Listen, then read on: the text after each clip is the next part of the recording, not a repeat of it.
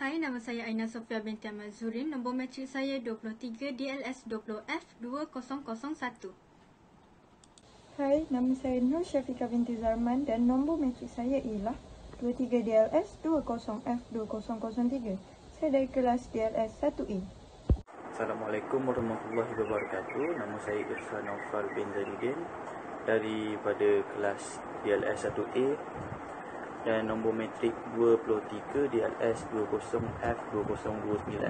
Dalam objektif pembentangan 2 kita dapat menghurai topografi dan demografi Selat Melaka, menghurai definisi peradaban dan juga mengenal pasti Selat Melaka sebagai pusat uh, pusat pembinaan peradaban manusia alam Melayu.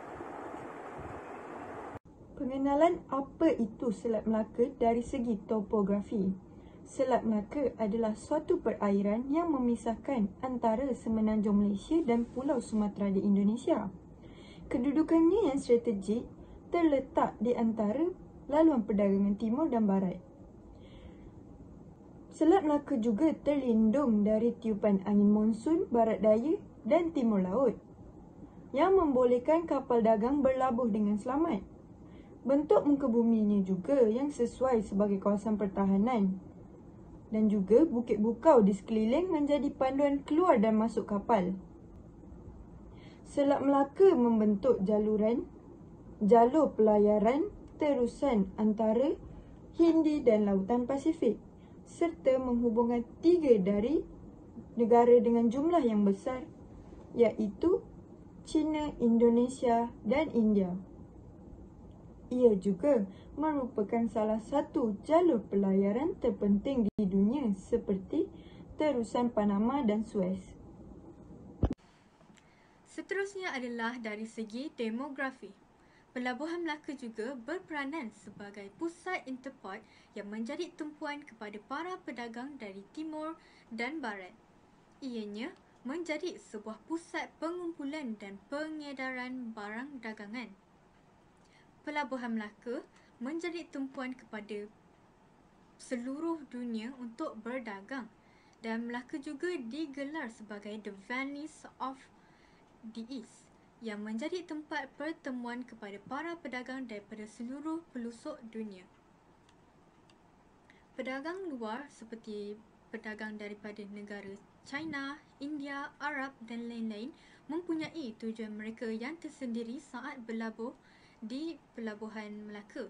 Antaranya ialah menyebarkan agama is- dakwah Islam, menjual beli seperti tembika, sutera dan lain-lain dan sesetengah daripada mereka berlabur untuk berlabuh untuk membaiki kapal-kapal dagangan mereka. Selain itu, Nusantara juga terkenal kerana terdapat kekayaan hasil rempah ratus dan kekayaan hasil bumi semenanjung tanah Melayu seperti emas dan bahan mentah. Perdagangan di Melaka ini juga berkembang dengan pesat ekoran daripada beberapa faktor lain yang telah disediakan oleh pemerintah mereka saat itu untuk memudahkan para perdagangan. Contohnya, pemerintahan telah menyediakan perkhidmatan membaiki kapal. Mereka juga telah menyediakan rumah tumpangan, stor barangan dagangan dan sebagainya. Definisi peradaban Pengertian peradaban mempunyai perkaitan daripada aspek bahasa dan istilah. Pengertian peradaban atau tamadun secara keseluruhannya dapat dilihat melalui sudut bahasa Arab, sudut bahasa Inggeris dan Latin. Dari sudut bahasa Arab, terdapat beberapa istilah yang dirujuk dalam konteks tamadun. Dari bahasa asing, Inggeris atau dikenali sebagai civilization asal daripada, daripada perkataan Latin yang bermaksud bandar. Daripada istilah bahasa Melayu pula, peradaban bermaksud bahasa dari akar kata adab bererti seseorang individu yang mempunyai tingkah laku yang baik dan sesuai dengan persekitarannya. Dari segi istilah pula, ketemadunan dan kehidupan yang maju dari pelbagai aspek. Dari segi bahasa Arab, yang pertama umran, kawasan tanah atau rumah yang didiami atau diduduki oleh keadaan berkembang maju. Madaniyah pula berkenaan dengan bandar atau kehidupan bandar. Hadrah pula tahap digunakan dalam abad ke-20 sama makna dengan umran.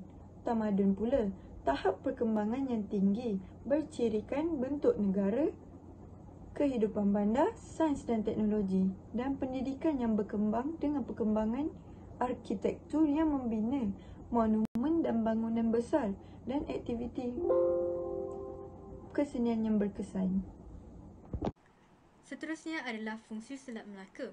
Seperti yang saya telah bentangkan tentang pengenalan Selat Melaka dari segi demografi, salah satu tujuan para pedagang untuk berlabuh di Pelabuhan Melaka adalah untuk menyebarkan agama Islam.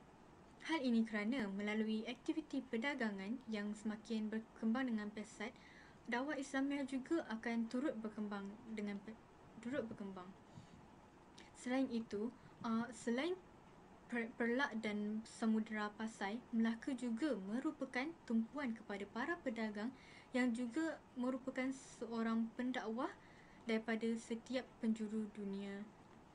Dan dari segi perdagangan, inilah mereka akan menggerakkan secara serentak kegiatan dakwah dengan membawa masuk pendakwa-pendakwa dari negara, negeri negeri lain ke dalam Melaka. Uh, dan para pedagang sendiri akan menjadi pendakwah kepada orang Melayu saat berda- uh, saat berdagang dengan menunjukkan akhlak yang mulia, berbudi pekerti, sopan santun mereka untuk menarik perhatian orang Melayu terhadap Islam. Dan kegiatan ekonomi ini digunakan untuk membayari aktiviti dakwah dengan dibayar, dibayar oleh para pedagang uh, seperti pendakwah, ulama, pelajar agama termasuk pusat pengajian Islam. Untuk kegiatan perdagangan, perdagangan di Melaka juga berkembang ekoran daripada beberapa faktor yang lain yang disediakan oleh pemerintah untuk memudahkan para pedagang. Contohnya, perkhidmatan membaiki kapal, rumah tumpangan, stor barang, dagangan dan barang dan sebagainya. Kebijaksanaan pemerintah telah menjadikan Melaka sebagai pusat perdagangan di Nusantara. Contohnya, pemerintah Melaka berjaya menjaga keamanan dan keselamatan para pedagang di Melaka dengan menubuhkan sistem pentadbiran di pelabuhan bagi melancarkan aktiviti perdagangan di pelabuhan. Ini sekaligus dapat menarik minat para pedagang dari luar untuk berdagang di Melaka Malah pada masa yang sama, Melaka juga telah bertindak sebagai pelabuhan entrepot yang mana berfungsi sebagai pusat pertukaran barang dagangan antara para pedagang.